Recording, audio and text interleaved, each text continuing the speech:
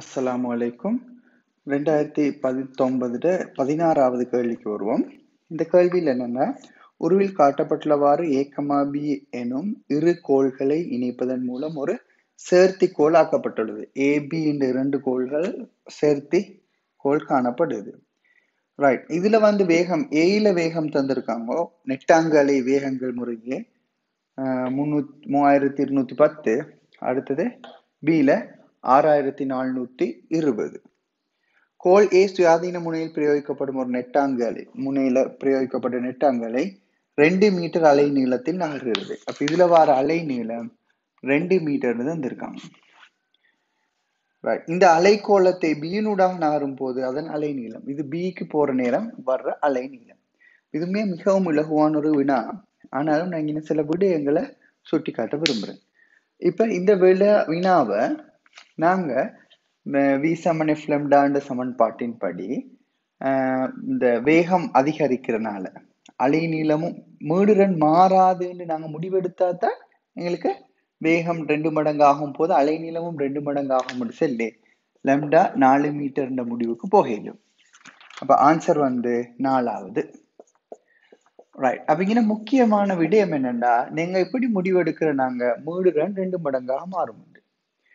Right இப்போ பாருங்க இந்த நாங்க அலை இயல்புகள்ல படிக்கிற நேரம் முறிவுன்னு ஒன்று படிக்கிறோம் தெரிப்புன்னு ஒன்று படிக்கிறோம் கோண என்று படிக்கிறோம். அதோட மேற்பொருந்துகை. இந்த மேற்பொருந்துகையில மேற்பொருந்துகை நடக்கிற நேரம் மீடுரன்களில் பாதிப்பு ஏற்படையிலும் ஆனால் முறிவு தெரிப்பு கோணல். இந்த மூன்று விடயங்கள்லையும் ஒரு நாளும் மீடுரன் மாறாது. ரைட் அப்ப பாருங்க ஒரு ஊடகம் ஒன்றில் இருந்து அடுத்த ஊடகத்துக்கு ஒளி போற நேரம் அல்லது வேறொரு அலை போற நேரம் முறிவு அந்த இரண்டு ஊடகங்களுக்கு இடையில வேகம் மாறுவதால முறிவடையும். அந்த டைம்ல மீடுரன் மாறாது. ஒரு செகண்டுக்கு ஐந்து அதிர்வுண்டா அதுதான் அடுத்த இதுல போகும். ரைட் அப்ப லைட் எடுக்கக்குள்ள அந்த மீடுரன் மாறாது. ஒளி எல்லா எந்த ஒளியை எடுத்தாலும் அதுக்கு பொருத்து அப்ப ஊடகம் மாறும் போது வேகம் மாறுவதால அலைநீளம் மாறும் ஆனா மீடுரன் மாறாது. அப்ப இது ஒரு ஊடகம் இது இன்னொரு ஊடகத்துக்கு போற நேரம் வேகம் மாற்றம் அடையுது வேகம் அதிகரிக்குது அதன்படி அலைநீளமும் அதிகரிக்கும். இதே மாதிரி தெரிப்படைகிற நேரம். பட்டு தெரிப்படைஞ்சு போற நேரமும் மீடுரன் மாறாது.